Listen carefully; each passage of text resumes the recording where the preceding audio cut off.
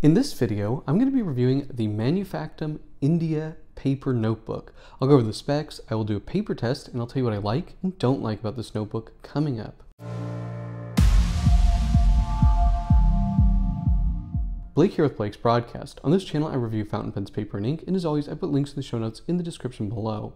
And if you haven't already, please hit that subscribe button. It really helps out my channel. All right, let's get on with the review. This is the Manufactum India paper notebook. Now, this is a different company from the Manufactus notebook that I reviewed not too long ago. That's an Italian company.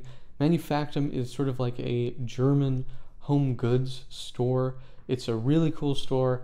Unfortunately, they don't ship to the United States, which is so frustrating.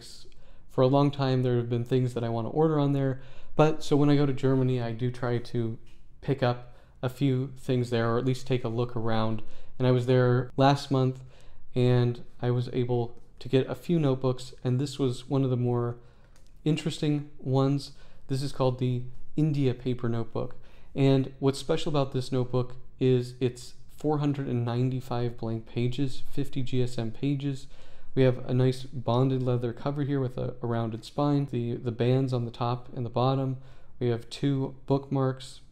It's a, a very nice package. The paste down on the inside is a laid paper, and we have a space for a title or whatever. And you can see Manufactum. I don't know. This is like extra light paper, 50 GSM, and 496 pages.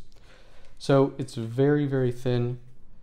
And I didn't know this at the time, but because I was buying it uh, in store and on the website. On the website, in the description, they say not for fountain pens. Well, I pretty much agree with that. But I still wanted to show this notebook because I think it is really nice. They're around 16 euros. They come with these silver cut or gold cut or red edges, which are really, really nice, rounded spine, headband. Uh, it's just a very nice little package and it's put together pretty well. The cover does get in the way of it, you know, laying perfectly flat. It lays flat well enough for a notebook that's this small. I think for somebody that likes to sketch or something like that on the go, this could be a good option. So looking at the paper test here, we can see a lot of bleeding. I see bleeding on the Pilot, 3.8 millimeter, a bit on the 6.0, on the Stipula, on the Joya. The Lamy looks pretty good. The Lamy Aion looks pretty good, medium. The Mont Blanc 149 cursive uh, flex nib, very bad. That looks terrible. The Ohto Fude ball looks a bit feathery. And I would say the rest of the pens here look pretty good. Now, if we go to the back, we can see pretty much a disaster. all of the fountain pens bled through. The Lamys seemed to do the best. The 1.9 millimeter stub and the medium did the best. All of the roller balls bled through. Two of the gel pens did decently. The Sakura Gelly Roll and the Uniball Signo, those did pretty well. Um, and actually, the Pentel Sign Pen did decently, and the Bic Click Ballpoint, and then of course the Troublemakers all had their problems. So this is a notebook that you can use with gel pens, thinner gel pens, and ballpoints and pencil. If you're okay with using one of those, I think this is a pretty nice notebook. I like the bonded leather cover. Not that that's a particularly high-end cover, but it has a nice feel to it. The package, I think it's just really well put together.